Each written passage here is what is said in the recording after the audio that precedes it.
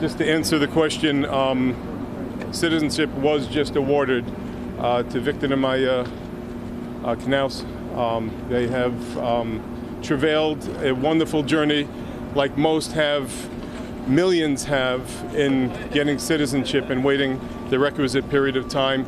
The application, the process, the interview was no different than anybody else's, other than security arrangements to, to facilitate today.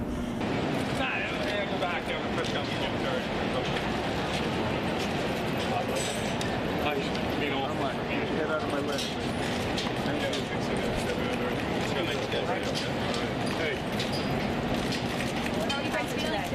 We're going to talk after we come out, if you don't mind. Just watch that so they Thank can you. get by, set up for you right Set here. them so they can get by, please.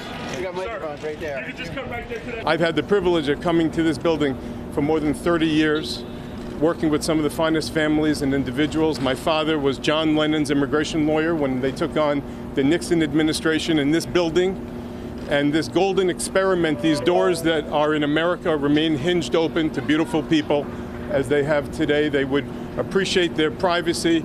And we just thank everybody for their attention to this very important uh, dialogue that we're having on immigration. This is an example of it going right. Back up, guys. Back up. Make some room. Make some room. Make some room. Congratulations. Good to see you. Everything went through a normal process like everybody else. You're allowed to apply after five years of having a green card and so forth. It was all done lawfully. When, when,